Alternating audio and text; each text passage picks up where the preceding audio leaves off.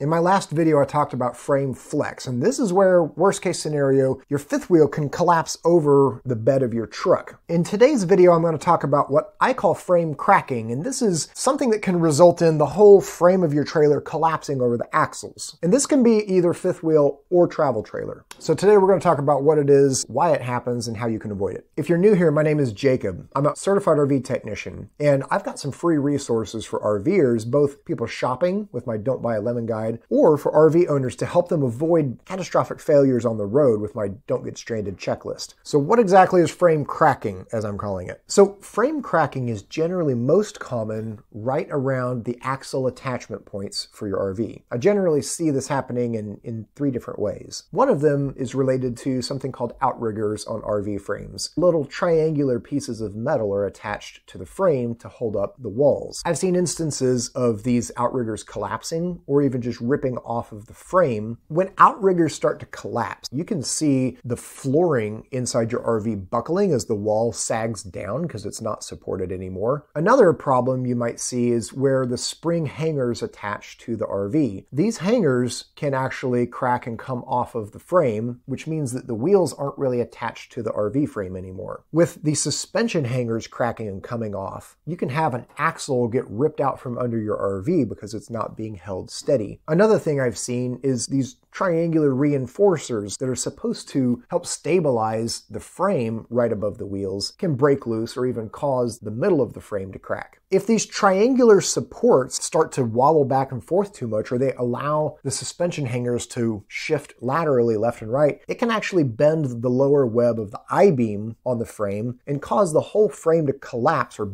bend around the axles instead of staying straight. So while this isn't as trendy right now as frame flex, I think it's definitely definitely a serious issue people need to be aware of. Why does frame cracking around the axles happen? I think there's three contributing factors. First would be bad design on the part of the RV manufacturers. The taller these suspension hangers are, the worse issues you're going to see with potential cracking. I-beams are not meant to move really in the ways that RV frames move them. That's why they have to weld on a bunch of supporting brackets. On the bottom web of the I-beam, right where the axle is attached, they'll put a square box tube to try try and stop that I-beam from twisting and deforming. But then on the bottom of that, they'll put these suspension hangers that are really, really tall. And unfortunately, it gives the axles more leverage to twist the bottoms of the beams. When it comes to these sorts of manufacturing design flaws, the best thing you can do to avoid getting into a situation where your RV was poorly designed is to research it on the front end and go join forums, go join Facebook groups of other people who own the same RV and ask around if anyone has had issues with frame cracking or failing, specifically around the axle areas. The second reason that frame cracking can happen would be manufacturing defects. If a weld was not completed correctly, or if the weld itself has bubbles in it so that it's not actually a solid weld, a solid piece of metal anymore, that can be a weak spot that might just fail under normal circumstances. This sort of manufacturing defect is not something that you can predict or watch out for. It's just the kind of thing that creeps creeps up and has to be dealt with after the fact. The third reason this kind of frame cracking can happen would be user error. And that's what I'm going to talk about the most here today, because this is the factor that's most within your control to help you avoid a situation where your RV is breaking. Believe it or not, folks, at least 25% of the repairs I ended up doing as an RV tech were completely preventable. How the RV owners were using their RV or maintaining or not maintaining them is what caused the problem. So this is why I created my tool-free RV maintenance course, which is 15 tips that can help you save up to $50,000 in repair costs. Like a lot of real stories there of repairs I had to do that didn't need to ever happen. If you found today's video to be helpful, say thanks to Dwayne in the comments. It's people like him buying my courses that make it possible for me to make videos like this. So on the topic of frame cracking and user error, I've got five tips to help you avoid this situation. Tip number one is to add an aftermarket frame reinforcer. Axles move left to right a lot as you're driving down the road, and this results in the bottom of the frame twisting left and right. A frame reinforcer that bolts onto the suspension hangers for the leaf springs can tremendously tremendously reduce the amount of left to right movement of the axles and therefore the stresses that are put on the frame. I'll link my favorite upgrade for this in the description below. My second tip is actually to not speed. I know some people are way too much in a hurry to get to their vacation spot, and the temptation is to just go 90 miles an hour down the highway or faster than the speed limit. Here's the reality. Because of the amount of movement that naturally happens side to side on these axles, the faster you go, the harder that will flex the bottoms of the I-beam where your axles attach. The slower you can go, the less stress it puts on these axle attachment points. My third tip is actually to limit tight turns. You don't want to jackknife your RV if you can avoid it. By jackknife, I mean turn in such a sharp radius that the wheels, instead of moving forwards, are just rotating underneath your camper. This is easier to do with a fifth wheel, it's harder to do with a travel trailer, but the result when you're jackknifing really hard is that one axle is pushed left and the other is pushed right, which puts a lot more stress on the suspension hangers. You'll see the tires actually being squeezed opposite directions if you're doing this, and that's a good sign that you are putting way too much stress on the suspension. What you need to do in this situation is pull forwards and backwards as much as you can to release the stress on those axle attachment points. This will help prevent bending outriggers or cracking the outrigger attachment points. Tip number four is to not overload your RV. Aside from the issue of just putting too much weight that your suspension is not designed to handle, the more weight that is in your RV, the more force that the RV body is going to put against the axles as it's shaking and rolling down the road. In general, you want to weigh your RV to make sure you're not over the weight limit but as much under the weight limit as you can stay, the more it reduces the stress on the suspension components. Tip number five is to avoid potholes, especially at high speed. The shock of an axle bouncing through a pothole at highway speeds can put a tremendous amount of strain on these axle attachment points and greatly increase the chance of something fracturing, breaking, and things collapsing. So to be clear, do I think that RV frames could be better engineered so that they don't have these sorts of issues? Yes, I think they could do a better job. These tips are the most actionable things for you to do given the current situation. Don't break your RV. So as I've mentioned, this is the second video in my frame failure series. Click here for a playlist of all the videos about frame issues in RVs, or click here if you want to see me go undercover to RV dealerships to grade RVs.